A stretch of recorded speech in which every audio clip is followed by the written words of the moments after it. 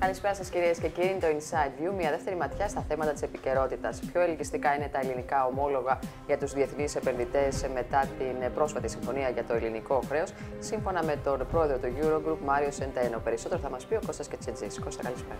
Καλησπέρα, Τέτα. Ο πρόεδρος του Eurogroup έδωσε για άλλη μια φορά μια ψήφο πιστοσύνη προς την ελληνική οικονομία, μιλώντας στο CNBC σε, μια, ε, σε συνέντευξη την οποία έδωσε χθες, ε, όπου δήλωσε ότι πράγματι τα ελληνικά ομόλογα έχουν γίνει πιο ασφαλή ε, και πιο ελκυστικά για τους ε, ξένους επενδυτές. Μάλιστα. Και θα συνεχίσουν. Ο κύριος Σεντένο δήλωσε ότι, ότι τα ελληνικά ομόλογα θα συνεχίσουν σε αυτόν τον δρόμο, θα γίνονται όλο και πιο ασφαλή για τους επενδυτές, το οποίο σημαίνει πως ε, θα πέφτουν οι αποδόσεις και θα γίνονται και πιο ελκυστικά ε, στις αγορές.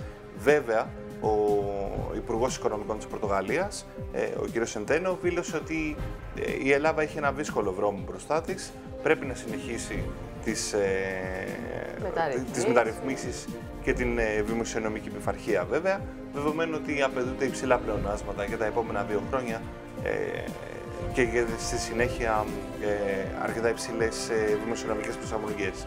Ε, την ίδια στιγμή, ε, έχοντας αυτό το καλό κλίμα ε, μετά τη συμφωνία για το χρέος της βαλίτσας του, ο Υπουργός Οικονομικών, ε, ο Έλληνας Υπουργός Οικονομικών, ο Κλήτη Τσακαλώτο, ετοιμάζεται να φύγει για τη ΣΥΠΑ, όπου θα έχει συναντήσεις με διεθνείς επενδυτές, προκειμένου να φέρει ε, επιπλέον επενδύσεις ε, στη χώρα μας. Ε, ο κ. Τσακαλώτο θα έχει συναντήσεις και στη Νέα Υόρκη και στη Βοστόνη.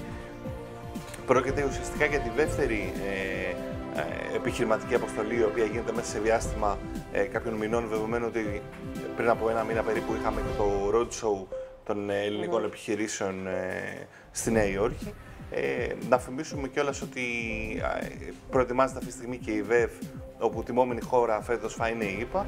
Οπότε καταλαβαίνεις ότι έχουμε μια κινητικότητα, ε, μια κινητικότητα κυρίως προς την άλλη πλευρά του Ατλαντικού. Ε, να πούμε τέλος ότι αυτή τη στιγμή πράγματι οι αποδόσεις του δεκατού ελληνικού ομολόγου έχουν υποχωρήσει κατά περίπου 30 μονάδες βάσης σε σχέση με το πριν το Eurogroup, δύο εβδομάδες πριν, πριν τη συμφωνία, δηλαδή την ανακοίνωση της συμφωνίας για το χρέος. Και εννοείται ότι άμα πιστέψουμε τις εκτιμήσεις ε, του Προέδρου του Eurogroup, ε, η αποκλιμάκωση θα συνεχιστεί.